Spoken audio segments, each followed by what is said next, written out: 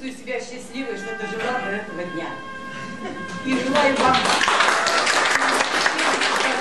счастья, о школе, вечной молодости и приумножать успехи.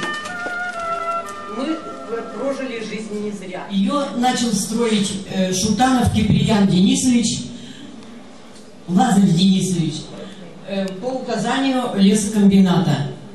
Эту школу строили Авралом, то есть быстро. В мае начали, а в сентябре уже вошли в новое здание. Новое здание строили студенты.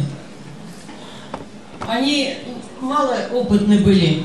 Развели алебастр, он у них застыл в ящиках. Начинали по новой. И вот э, построили школу к сроку. А дети ходили все лето, конопатили здание.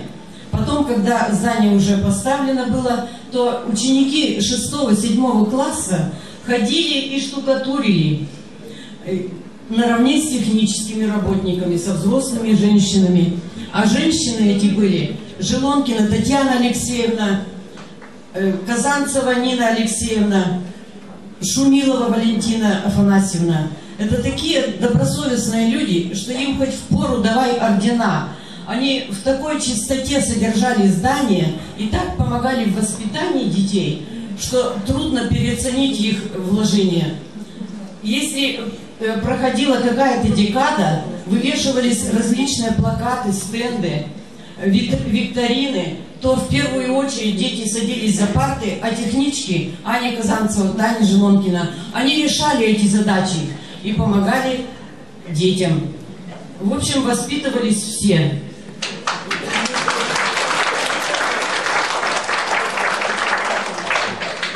У нас проходили постоянно слеты пионерские. Почему-то вот их сейчас не стало. Пионер... На пионерские слеты готовили отчет школы за год, делали красивые альбомы и выступали, по неделе проводили в Кандинском, выступали, показывали свои достижения в области спорта и знаний э, туристических дома, когда не проходили слеты, проводили эстафеты внутри школы. Приезжала Половинкинская школа, э, Мулымская школа впоследствии, Назаровская. И у нас в Шаиме на поле колхозном проводили вот эти эстафеты. И принимали в них участие не только дети, но и взрослые. Помню, бабушка Крохолева э, приходила на эстафету, так она наравне с Колькой бежала с Крохолевым и, и кричала, Колька, давай, давай, давай. У него в Кольке ноги-то как спицы. Различные вот такие были реакции. В общем, жили дружной семьей. Хотя и дети Манси жили на государственном обеспечении на полном, а русские на своем по 18 рублей в месяц питались но жили дружно, никогда на этой почве не возникало никаких разногласий. В общем, я хочу отметить еще имена педагогов, отличных педагогов, которые э, с душой работали и заслужили награды. Это Надежда Платоновна Чернавских, царствие Симоненкова Валентина Павловна, талантливый, э, надежный товарищ, трудный, трудный жизненный путь прошла, но она очень одаренная была женщина, и э, о ней до сих пор самым наилучшим образом вспоминает население все. Трещикина Анна Алексеевна, очень добрый человек, простой, душевный, ее любили очень дети и дорожили ей. Тихонова Нина Демьяновна, отличник народного образования, тоже не покладая рук работала и добивалась успехов в учении и воспитании. Из нашей школы мы можем э, с честью сказать, что выходили порядочные люди, э, и большинство за время советской власти заканчивали и специальное образование среднее, и высшего образования у нас много э, детей. В общем, кто как мог, так и учился.